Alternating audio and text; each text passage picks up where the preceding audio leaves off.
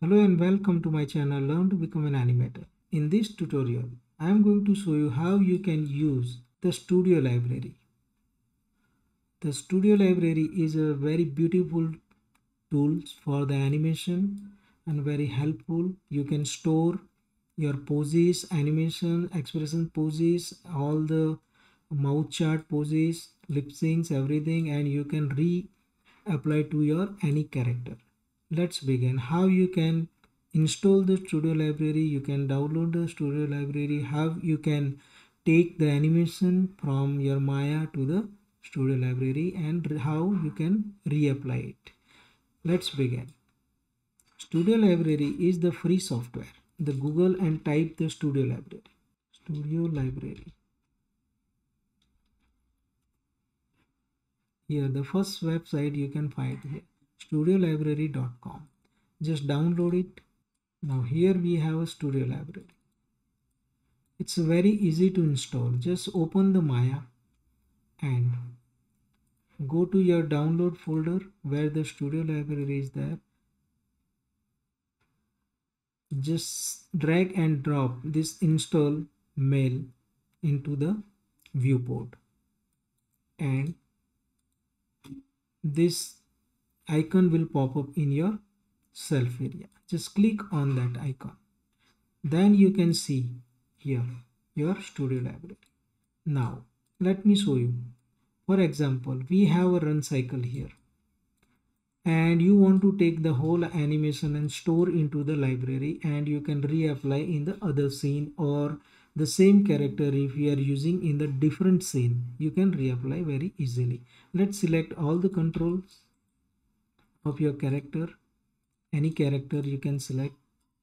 Select all the controls and go to the studio library. Now you can create your own folder here. I am creating kalpesh underscore run. So this all the libraries will be stored in your local machine. Now we have selected all the controls of the character. Go to the studio library right click if you want to import the animation just animation. Create select the animation and name it run cycle. Run. And save. It will ask to create the thumbnail if you want to create the thumbnail yes. If the scene is very heavy multiple characters so many characters and if you think you don't want to create the thumbnail it's fine. Just say yes. It will capture the screen and you can see. Our run cycle is stored into the studio library. Now if you move your cursor on it you can see your run cycle is playing. Let's see how you can apply into the character for example you have this character in the scene. There is no animation. Let me show you. We can delete all the animation from here. That's it. Delete. Just zero out all the characters. I mean zero out all the controls and all the values. So we don't have anything here.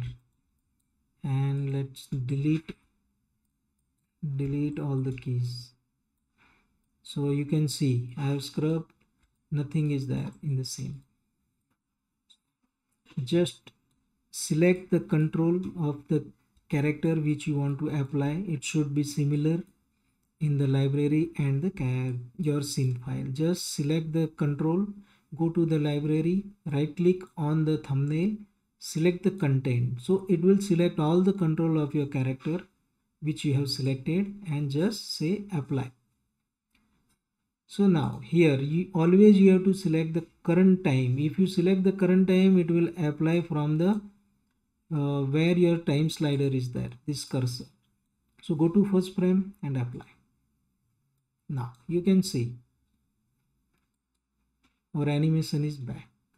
The same way this is very important and very helpful tool for the animators. Same way you can create the pose and store the pose if I want to save the pose only this pose for example I can save it the pose right click new and the pose now frame 3 you can click here to grab the thumbnail and save. Now we have the pose here and we have the animation. This way you can use the studio library to make it your animation workflow very fast and very easy. And uh, if you have multiple people working on something you have created one run cycle and you want your to share with your friend it's very easy to do this through the studio library. So i hope this would be very helpful tips for you. Once again thank you for watching and see you at the next video if you like my tutorial you can subscribe and share. Thanks a lot